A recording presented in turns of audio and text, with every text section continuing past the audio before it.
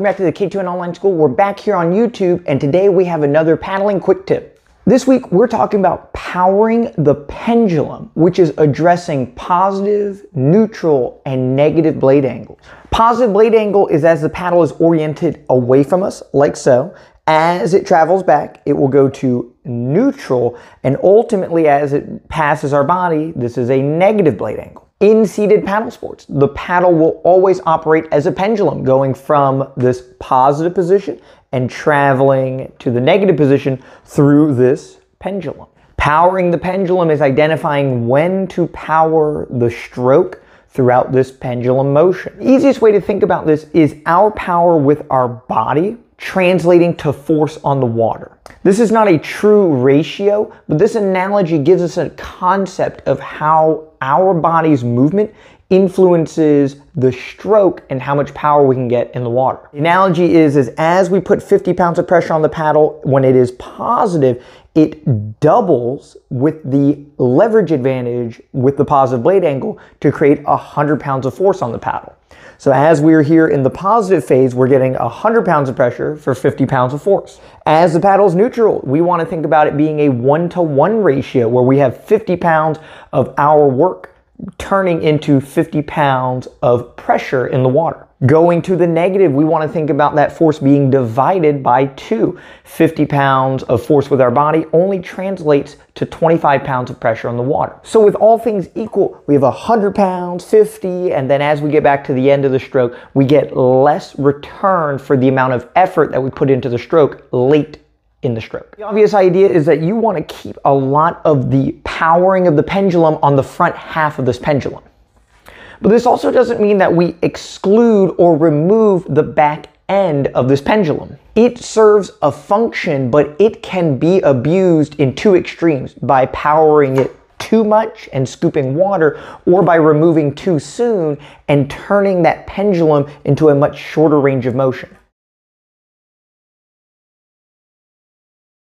One of the most common coaching cues that I hear as people watch these videos is the paddle goes past his body, it must not be right. So when we're looking at powering the pendulum, yes, the stroke as it is in front of us is powering the, the movement the most. But the function of the pendulum behind us can be utilized to maximize the power phase. We've talked about in previous videos about having a follow through and how the exit serves as that follow through. When we are powering the pendulum, the power is up in the front, but as we complete the motion, we relax the body and allow the blade to come out effortlessly, but the blade will always leave the body behind us.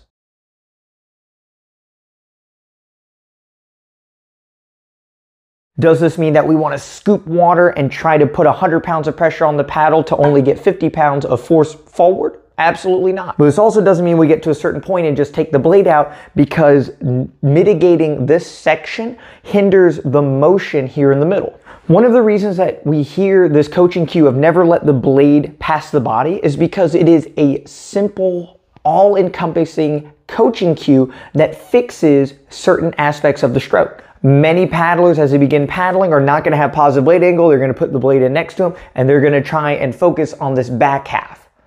The coaching cue of removing that forces you to move the boat by being more upfront with the stroke, which establishes some good habits. With all extreme blanket coaching cues, they come at a cost in their simplicity. Paddling is a very complicated sport, and if you approach it in absolute statement, it will lead to long-term problems. Another example of absolute statement that can fix aspects of the stroke but harm others is keeping both arms straight throughout the entire paddle stroke. The point of this cue is to make sure that during the power phase, we have both arms extended and we talk about our power triangle in a previous video. We ensure that we are in this power triangle position. But now that when we keep the arms straight the entire time, the other aspects of the stroke have now become very clunky. The exit, the recovery, the setup, everything is lost because the elbows are locked. All of this in an attempt to have one aspect of the stroke good comes at the cost of everything else going out the window. A broken clock is correct twice a day. Having absolute statements that force movement means that you will be correct in some regards, but in the entirety of the spectrum, you will be lost. A clock has many moving parts that all work together to read time as it progresses forward. When we are going through paddle strokes, there are moments where the arms are straight, but there are moments when the arms are bending and we're relaxed. And this is what allows us to have this nice fluid motion as opposed to looking like a robot. So back to powering the pendulum, when we see that the blade should never go past the body, this comes at the cost of having a fluid, dynamic, full stroke.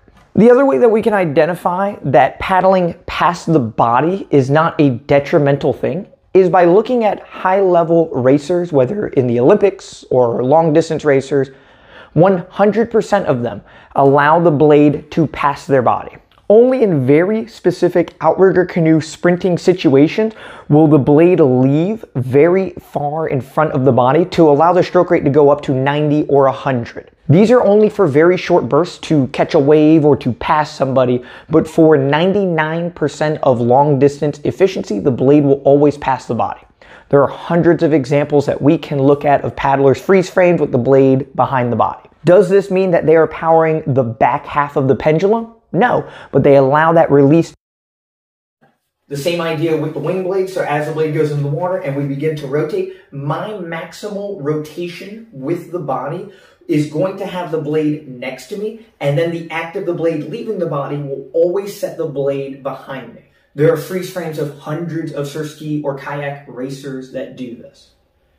If you were to have the blade removed next to the body, it means that you have to cut your rotation short. So instead of turning my body to a maximum, I can turn my body to here. And by initiating that exit phase, the blade is now going to be removed next to me. But there's this entire section of the stroke here that is now lost. By maximizing your rotation and then exiting, it gets the most out of the stroke and the release, and the blade will always end up behind you. Coaches that say they have the blade leave the water next to them have hundreds of photos of them with the blade behind them. Again, it is a simple, absolute coaching cue that forces paddlers to be more upfront and thinking about the in front of them but taken literally, which it is by the majority of paddlers that hear this coaching cue or only seen it demonstrated on land, will now try to have the blade leave next to them and their stroke looks something like this.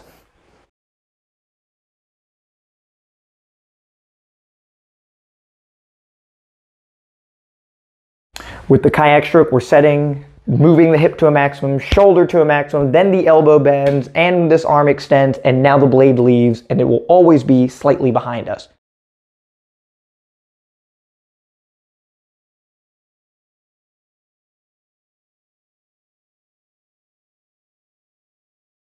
Again, do we scoop water and shoot that blade behind us and power the back end of the stroke? No. Once you are done with your rotation, right, you can begin relaxing the body and this blade is going to flick out of the water effortlessly, but it will be behind you. I'll try and post a bunch of photos here of paddlers with the blade distinctly behind them, whether in a sprint format or a long distance or paddling in the ocean. If they're in an outrigger canoe, if they're in a surf ski, it doesn't matter. The blade will typically always be right behind you as you're leaving. Paddling is very in-depth. It has many moving parts and they change in real time throughout the stroke.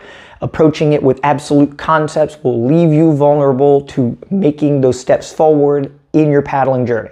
At the K2NOnlinePaddleSchool.com, we have 200 videos breaking down everything into pieces, the top arm, the bottom arm, the shoulders, the hips, the leg drive, pushing off of the heels, breaking down the stroke into the setup, catch, power, exit, and if you're using outrigger canoe, the recovery.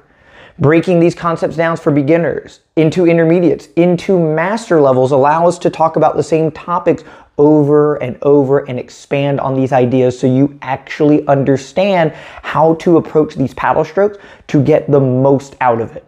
Hearing simple cues about the blade never passing the body will cripple your paddling journey indefinitely. Watching high level paddlers assessing their movement, breaking down why they're choosing to move this way, and then trying to emulate it puts us in position to be at the highest level that we can. So if you haven't checked out the website, this is an excellent opportunity. Go on over. We have yearly and monthly subscription plans you can cancel anytime. If you need help with your paddling technique, we also offer one-on-one video reviews. Send us some videos, we'll break it down, send it back to you, and we can take the steps working together to make sure that your paddle stroke gets cleaned up. So in review, we have the pendulum from the front of the stroke to the end of the stroke. We are powering the front and the middle of that stroke, but don't be afraid to allow the blade to travel through the back half of the pendulum effortlessly and fluidly to finish that motion of the middle of the stroke. The follow through powers the middle section. By taking away the follow through, you hinder your power transfer tremendously. Thank you guys so much for checking out the video. If you have not subscribed yet, we are so close to a thousand subscribers on the channel. Please check it out. Hit the bell on the top to get notifications of our next videos as they drop. We try to post one or two videos every week. We've posted some fun videos to mix things up a little bit on the channel, but we at our core want to give you guys some informational videos just like these. If you have any questions, please comment, message, email, anything to get in touch. I try to respond as quick as I can.